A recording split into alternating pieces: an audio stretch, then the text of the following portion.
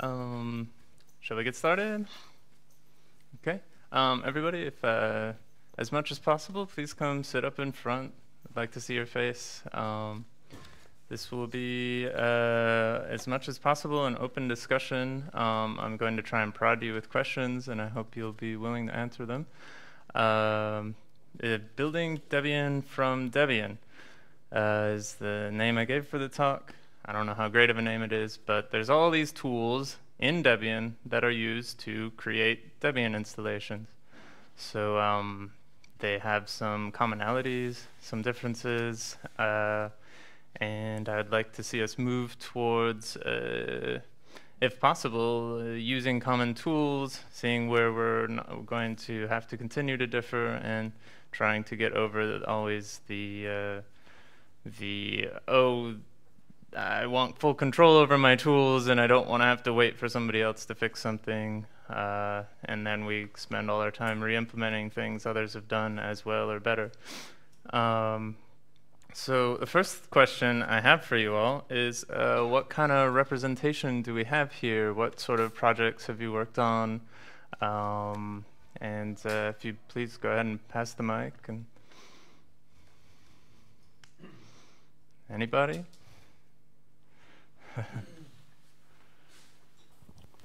I'm the author of I'm the author of FAI and sure I'm using debootstrap. So I mainly rely on debootstrap and the rest is done by my tool. Okay. Uh, I will start. I'm starting to work with the OpenMoko Debian group or team or whatever uh, since this week. so uh, what I want to do is to build kernels for for the OpenMoko.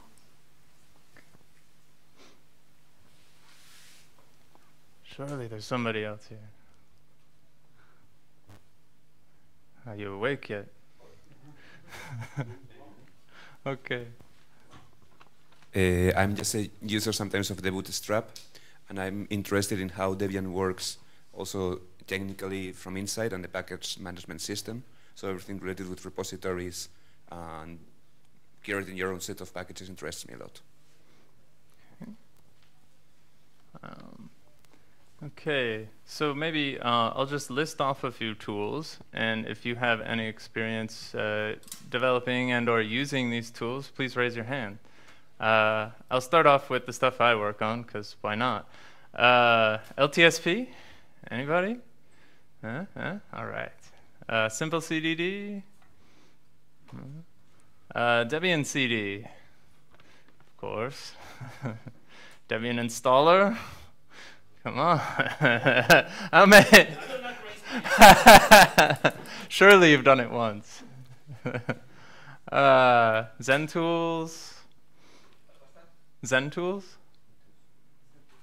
Yeah, yeah. Uh, util vserver. Visa, okay. Debian Live. Huh, huh, okay. Uh, libvirt or virtinst. I haven't really used it much, but okay. pbuilder. Uh huh. All right. Uh, schroot or dchroot. And FAI. okay. Um, so that's just kind of a list I somewhat came up off the top of my head uh, way back when. Um, I'm sure there are other things that do similar type work. Um, maybe System Imager, I guess. Um, what was that? cowbuilder. Yeah, well, that's pbuilder, but yeah, yeah, sure. Um, so a lot of these tools have things in common. Um, Many of them uh, will often build a chroot, and most commonly that's done with like debootstrap or cdebootstrap or something like that. Um, so they, they initialize a chroot, right? And uh, how many of you have worked with chroots? Yeah, there we go. Got to get some questions with everybody raising their hand. Um, so they all initialize a chroot, and then uh, you know usually the tools they're not going to install all the packages you want, so you want to install extra packages inside the chroot, right? Um, so these are common tasks across many of these tools, um, and they probably, you know, most of them probably use debootstrap or cdebootstrap. Uh, but for the extra package installation, there's probably probably a lot of variation as to how people go about it. I'm sure a lot of people do it manually with a lot of the tools. Um, some tools will provide something to say, well, also install this, and maybe you just do that by seeding it with debootstrap, or maybe you chroot into it and apt-get install it. Um, but uh, they all usually have some method for installing extra packages because a base Debian install is not, uh, a, a, core Debian install is not very interesting, right? Um, so uh, Another thing uh, some of the tools do is they maybe generate an apt repository, um, such as Debian CD, you know, generates an apt repository of some form, you stick it on a CD, and, um, and then uh, frequently you're going to want to do some dependency resolution when you're, when you're generating that repository. Um, uh, another common thing, uh, I've kind of just looking at some of these tools, is uh, some way of installing tasks or profiles, you know, a specific grouping of packages that are uh, that are useful, and uh, that way the user doesn't have to specify, you know, every single package individually. You know, they can specify collections of packages, um, you know, with tasksel or who knows, uh, any other mechanisms people know of? tasksel, anything else? Uh huh. Yeah, yeah. debtags. Okay. Um, so it has its own mechanism for that. Yeah. Okay. Um, uh, you got to get your packages somehow, right? Uh, so usually that means downloading them or making a mirror and then uh, copying that somewhere. Um, and uh, there are a number of tools that can be useful for that. Um, some of them are just dynamic, you know, apt proxies where you just uh, point it at the mirror, and if it doesn't have it, it goes and fetches it for you, then brings it back. Uh, there's also mirrors to do like a full-blown, you know, mirror for an architecture, um, or maybe even the entire mirror uh, in some cases, though those are getting pretty rare, I'm guessing. Um, but you need some means to get all of these packages that you then install into a chroot. Uh, or maybe you install into an apt repository or something. Um, so uh, one of the most commonly used tools for that is probably apt itself, right? You just use apt. Uh, you get the packages that way. Uh, another common task is configuration. Uh, you know, uh, you install a raw chroot. you want to you don't necessarily always want to use all the defaults for everything. So many of these systems have some ways to tweak certain packages, add configuration options. Maybe it's done through debconf preseeding. Maybe it's done through butchering the files manually, you know, maybe using CFEngine or Puppet, something like that. Um, another Another thing I was thinking of is uh, some of them do an image generation of some form, whether it's generating an ISO image for the CD, uh, uh, a network block device, an NBD image that you then export over the network to boot, um, USB stick images, that sort of thing. So that's like just one big file that you then use to do something with. Um, and Another, another common technique is cloning. You know, you take a base system and through some means you make a copy of that system, maybe adjusting the, the few things that should vary. Um, so these are some, some common needs uh, that I just came up with. Um, does anybody have any suggestions for other ideas, uh, other commonalities between tools? Or, or should I say does, please bring up some other ideas. I think one important thing is that all the tools uh, should be separated. So I think it's not very good to have a tool that's building the change root, doing the customization, and creating an image, or um, be because often people like to have only one part of this functionality and like the Unix philo philosophy, uh, we should have a separate command for each task.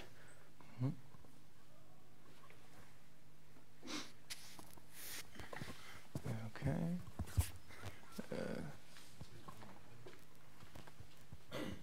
I've got an uncommonality, I think, which is um, cross-installing as opposed to just installing, which I guess nobody else really wants to do apart from the embedded people. And Debian does an appalling job. I mean, there's nothing at all in the system that lets you move the root of all the maintainer scripts before running them, well, apart from chrooting. But now you have to have everything in the chroot that you need to install everything, rather than just the stuff that you actually wanted to install. So you have to install a whole pile of other packages and uh, most of that stuff is just fiddling about with files and registering things and uh, boring stuff that doesn't need to be done by the target device. Um, so I'd really like to see changes made to support that, but that's a really big deal. There's all sorts of things we have to change to make it work. I've got I've got one question. Uh, does bootstrap currently support creating the the first change root on a different architecture? Does this work? Uh, yeah, but you have to run all the maintainer scripts. The second stage you have to do on the device essentially, or under QEMU or something. Yeah. All right. Um, yeah, I've been actually a, a, fair amount of work I've done this conference was using QEMU to generate a cross-architecture LTSP setup um, which only so far seems to work on armel. But so yeah, uh, uh, yeah, that's uh, another topic. Um, yeah, one point, I guess, just to, for people who haven't thought about this before, the main thing, as well as being able to tell all your scripts to run over here, uh, or at least on the files over there, um, separating the install time and um, runtime, separating the dependencies so that you know which things you needed um, for installing the files versus actually uh, at runtime uh, when the package is running would be really useful, and then you could tell. Um, and actually separating the script into those two parts as well. So there's a maintainer install the file script, and then a maintainer actually run on the system, because this really does need to run on the actual box when it finally boots which I guess we could do. I mean, it would just be another stage in all those scripts and pre things and post things and. Okay. Um, so uh, so some of the common kind of lower level tools maybe uh, maybe go for another round of hands here. Uh, debootstrap or cdebootstrap? Anybody? Yeah, yeah, yeah, yeah, yeah. Uh, apt FTP archive. Yeah. dak? No. reprepro?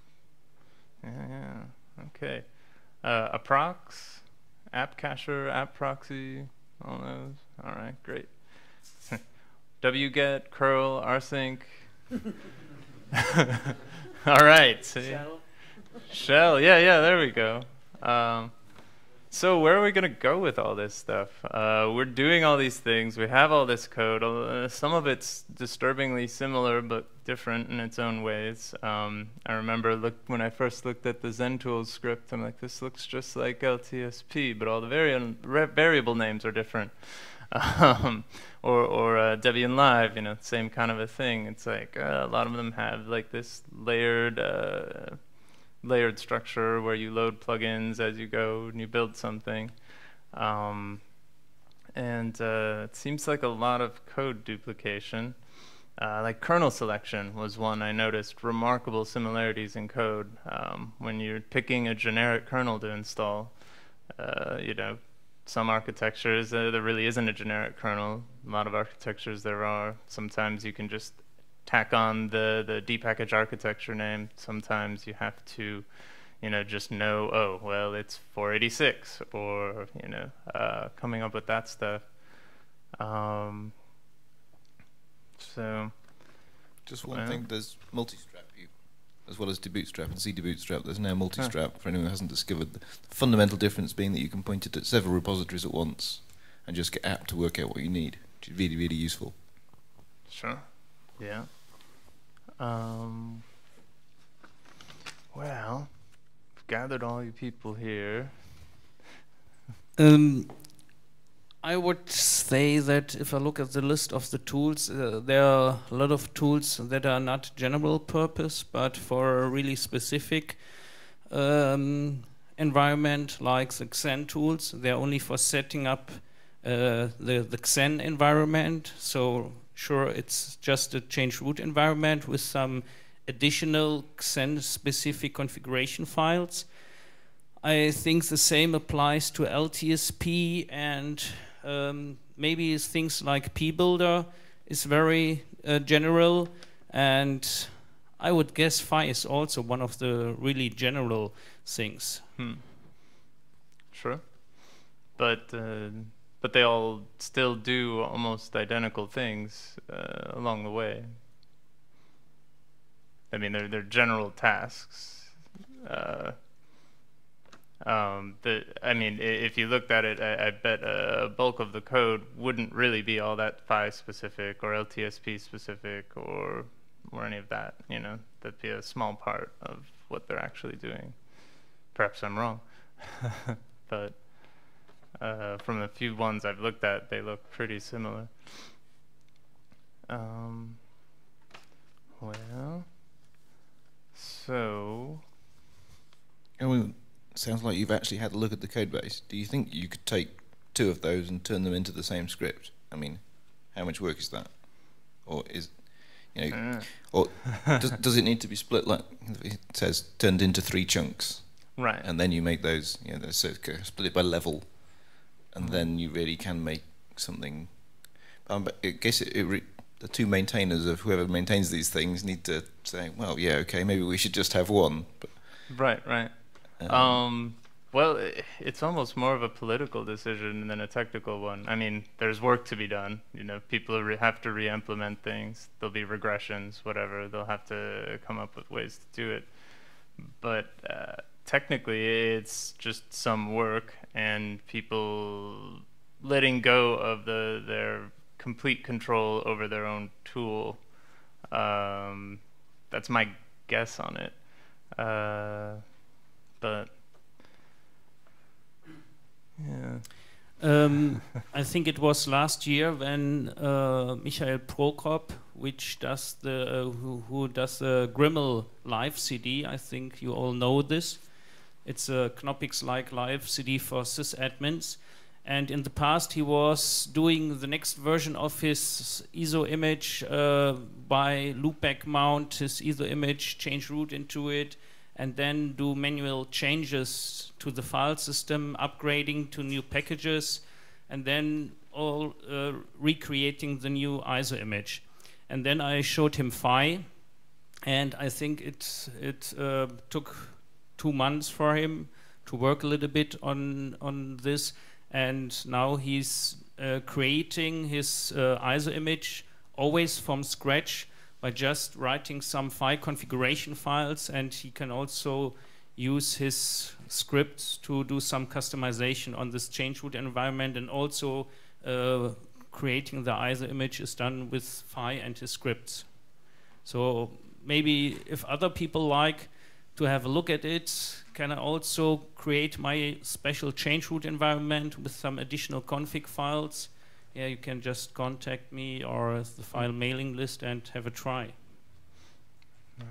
Yeah, I've also um, I've before just kind of as an experiment, I've used LTSP to generate a bootable live CD image. You know, it's uh, same type of technology. Those both share a read-only root file system where you somehow overlay some place to write the stuff you need to write. But yeah, so uh, even as a proof of concept, it's not hard to do uh, cross-tool purposes or, or emulate the functionality of other tools. Um, and I think uh, that, that that's one of the big points with uh, the move towards libvirt and all that stuff too. Is that uh, you know you've got all these. I think it supports uh, KVM, Xen, QEMU, and a handful of others, if I'm not mistaken. Uh, so that's a good example of just moving towards one tool that can really handle all of these things, which are virtually identical. Um, but uh, yeah. Well, so so where next? How many people?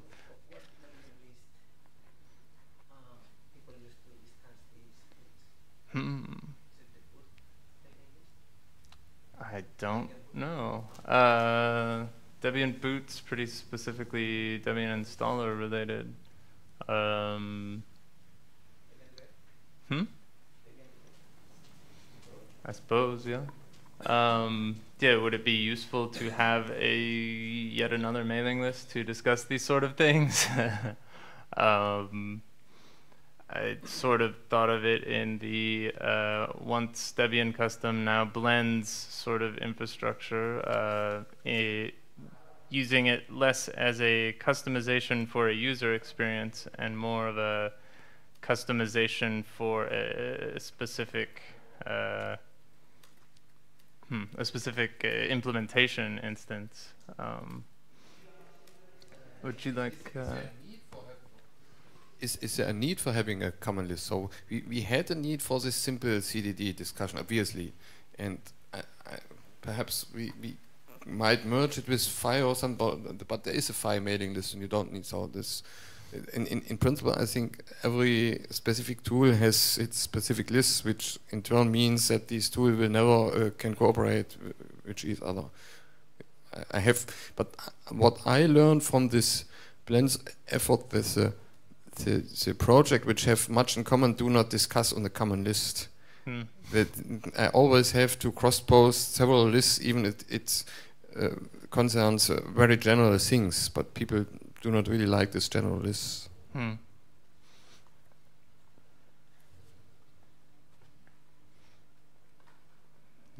So I kind of missed the beginning of this. Does everybody actually use debootstrap and then wrap that in various messing abouts? Is that how FAI and CDD and so on work? Or sort of. Uh, they're they're not all uh, in the category of things that generate chroots like Debian CD. Um, you know, it doesn't necessarily generate a chroot, although Debian installer, while it's doing the going through its process, that does. Um, so there's uh, so they don't all necessarily use that, but I think most of them probably do at least have that common foundation. Uh, though I think uh, there are definitely some which uh, lean towards cdebootstrap and some which use debootstrap, and now we've got multi-strap, I guess. So yeah. Uh, so I think, if I remember right, we used um, a separate install script for debootstrap to start with, uh, but various things broke, and I think it was easier to give up and do something else than it was to, to carry on with that. I think is where we currently are. Um, and the lack of an ability to point it at multiple repositories was the biggest thing, but I guess we could teach. So in fact what we ended up doing in the end was just multistrap just basically gives a list to apt and says go and get these things. And then and that's right. The fun, the other important bit is that you don't end up with all the debs in the image you've created, which always seems to be a rather shitty feature of debootstrap. It's twice as big as it needs to be. Um, and having unpacked everything, it then goes and unpacks them again, this time telling dpackage about it. And you just go, it doesn't need to do that. So we actually unpack them and do everything apart from the actual configuration step, which is the only bit we couldn't do locally. I've gone all vague. So yeah, so uh, well, we didn't object to the tool. It just didn't really work very well. Um, maybe we should just. But I think I didn't write it. You need Neil, and he's not here. Um, my understanding is that the multi-strap approach is, is very different. It's not just a change of the scripts. Um, I have no idea whether it worked for everyone else. Maybe.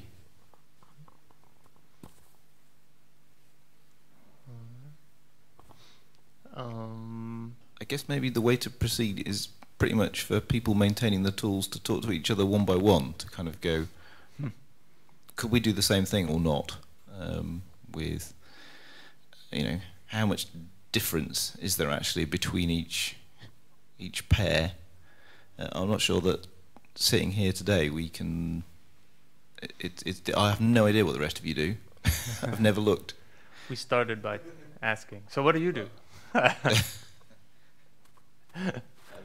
Yeah, well, I think I just told you. Yeah. Um, so there's two tools. There's as well as multi-strap um, for doing grip installations. There's emsandbox for doing um, crush installations, which uh, uh, does an awful lot of jiggery pokery to basically because we can't run the maintainer scripts, but we need to have an image configured enough that it will actually boot. Um, we actually just go and basically take a load of code out of all the maintainer scripts, not in any organized way, just kind of manually go, oh, we need to do this and we need to do that and we need to do the other and put them together in a big scripty thing. So it's vile. um, but uh, we could, because there's no infrastructure, you know, there's no metadata in Debian that allows which parts of uh, a maintainer script can be run, even though it's all, most of it, it's auto-generated by DebHelper. Uh, so it could be auto-generated differently um, and it would do what we wanted. But because basically there's no scheme for it at all, we just have to do horrible hackery. Uh, so yes, we'd be pleased to throw it all away. It's hopeless and unmaintainable and and, and rubbish. but it, you know, it does work. So yeah, I'm I'm pretty happy to use somebody else's tools if any of it works. Please tell us how we should be doing it differently. Yeah. Well. Well, uh, with lack of much direction, I don't know if we just want to uh, kind of wrap up and maybe have some informal one-on-one discussion or something along those lines. I mean, I've long been meaning to look at FAI, and I look at it briefly, and then and then I go on to other things. so I know uh, it's it's hard to step out of what you're working on and look at somebody else's and take the time to do that. But I think it would benefit all of us to do a little bit of that. Um, so that's uh, I don't know. I, I might come away from here trying to make a commitment to to look at some of these other tools in greater depth. And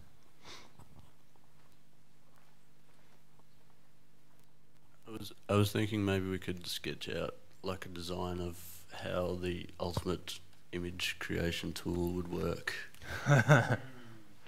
Uh, do we have time for that? Sure, I, I think so. I don't know. Yeah. So what I was thinking was uh, I went to Joey Hess's DebHelper 7 talk um, and I was really inspired by the override stuff and I was thinking maybe that could be applied to this sort of situation. Hmm. Yeah. So, um, so maybe to briefly describe what that that was like, or just to paraphrase what the the override stuff was. Um, so normally Deb Helper just automatically figures out based on the upstream source what you want to do. And then if it doesn't know what, if it can't figure it out, then you can create an override um, underscore whatever the step is rule and then put in uh, what it, what that rule is supposed to do when Deb Helper can't figure it out. So in that way, it, it embeds all the commonalities in Deb Helper, and then all the differences are just in your rules file. Right. I think uh, in FAI we have something similar. In FAI, when building change root environments, we call it FAI dir install. And um, this is a sequence of tasks we execute. So, sure, the first task is calling debootstrap. And in FAI, it's also possible to extend or replace each task. We call it hooks, or you can also say plugins. So it's it's I, it, it's similar because you can override or extend a certain task with some other script or functionality.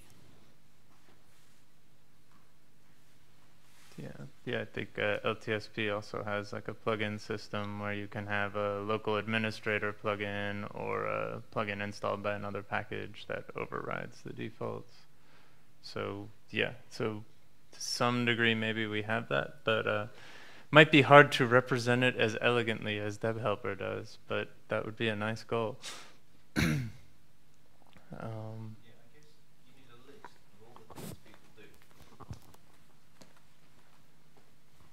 Yeah, mean, to evaluate whether this is possible, you need a list of all the things that all the various installers do to work out what the ultimate one has to support, um, and then you know some idea of the difficult corner cases, you know, the bits you can't run because it's not the right architecture, or um, whatever other people's problems are.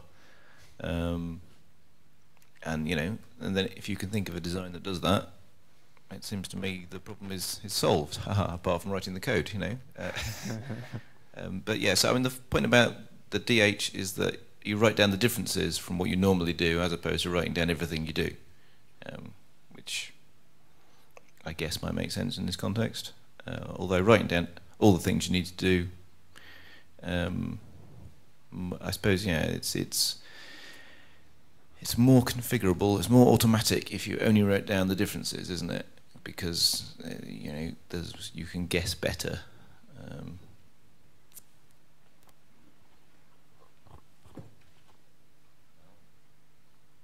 How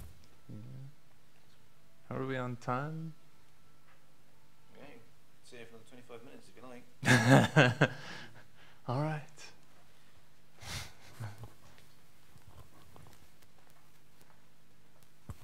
So I think the next step with this discussion is maybe someone, um, whoever has time, look at the archive and see, or look at the tools that depend on debootstrap or cdebootstrap, ah, cdebootstrap, and just review the, the differences and the, the commonalities there and see which one does most of it.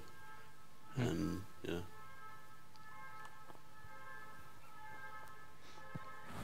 Anybody want to do a apt-cacher depends on uh, debootstrap? Get a list.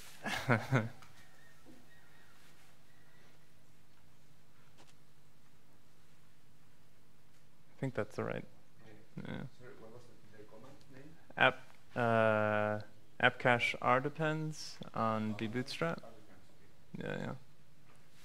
It's uh, a lot. more than we've mentioned, eh?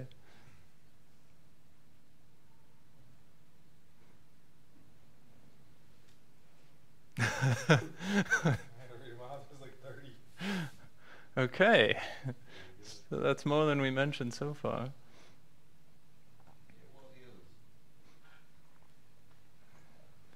Some uh, obvious glaring omissions so far?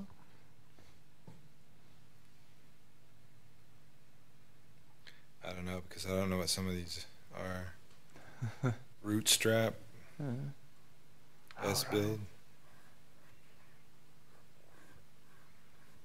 um, box. Emdebian rootfs, live helper, LTSP server, PyParts, QEMU builder. Um, I think most of these most of these were mentioned in some way or another. FAI server, utility servers, and tools. Dtrue. Okay. There's one tool called Rootstrap. I didn't know. Uh, Ganeti instance debootstrap seems to be a special version of debootstrap. Hmm. Yeah, and mostly are the virtualization or change root tools. Hmm. Auto package test Xen LVM, embedded rootfs.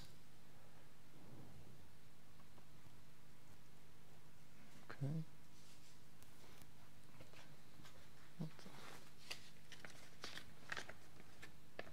So that's a pretty good list, I guess. Um, that handles more of the chroot cases. Um,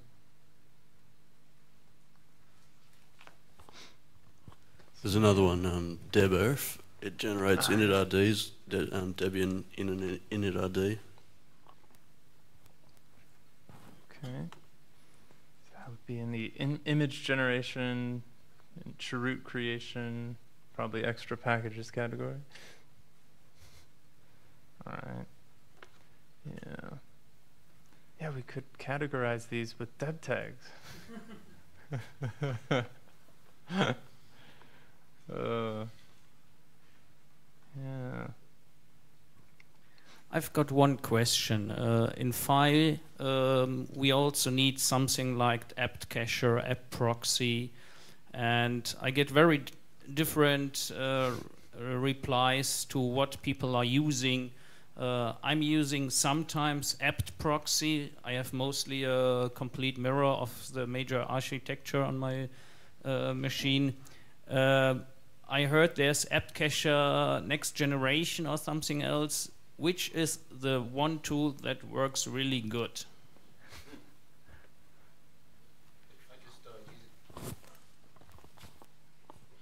I don't really claim any expertise except last time I looked, I looked at this a while ago and everyone said ah, proxy's shite, it doesn't work properly, so I didn't bother. And I recently put apt cacher in and it's brilliant. And I should have done it years ago. It is fucking marvellous. um, so I have no complaints at all on that front, but I don't know if there's corner cases where it's problematic. And I have used in the past apt proxy, and it and eventually when it got rewritten in Python, the memory usage skyrocketed. And then and I'd looked at apt cacher years ago, and something about it just made me nervous. And then I've been using approx. but I haven't looked at either apt cacher or apt proxy in any recent, probably four years. But I'm an approx loyalist here. But, uh, alright. Yeah. Hmm.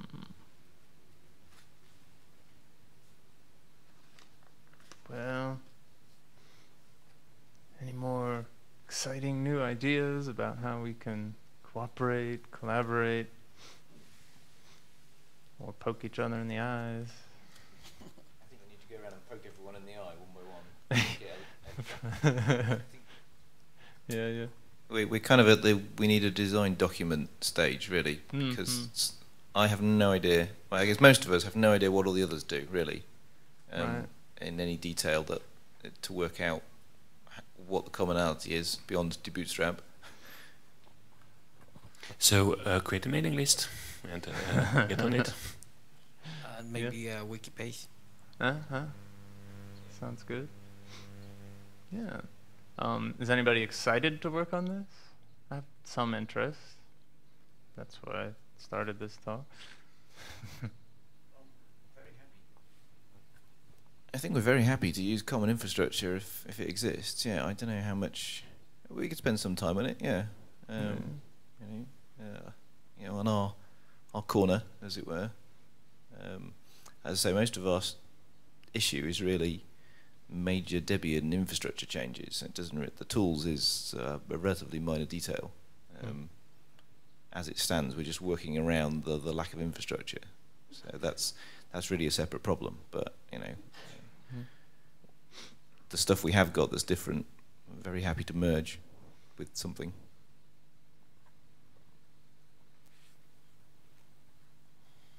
All right.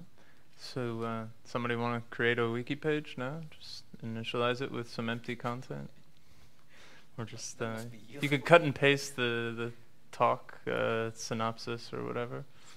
Stick it on a wiki page. Who's gonna be the first to do it? We'll have ten.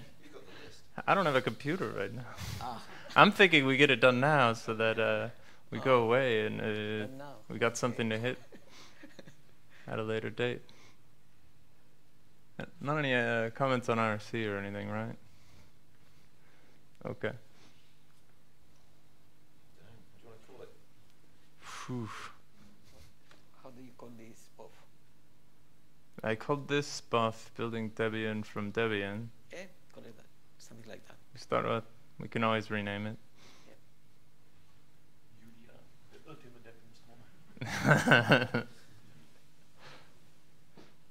Meta Debian installer.